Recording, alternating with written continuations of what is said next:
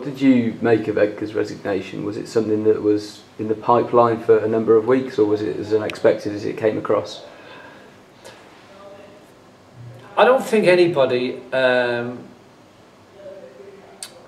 I don't think anybody would uh, was uh, surprised when Edgar departed, but probably shocked when it did happen. You know, because um, you know Edgar's a big, big person and a, and a big, big name, and um,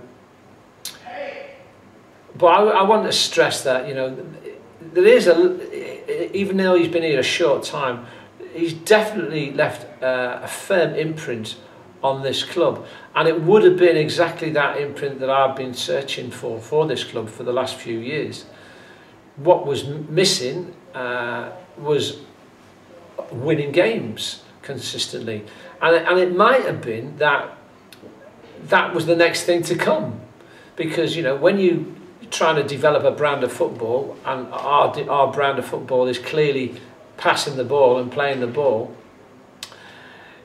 that it's no use passing the ball uh, if you're going to win and if you're not going to win games um, and not score goals and and you know for one reason or another we weren't scoring enough goals and weren't winning enough games and that might might be because there was another piece in the jigsaw to follow um, and so the legacy that he's left I certainly don't want to lose uh, it's not something that I'll be trying to knock out the players.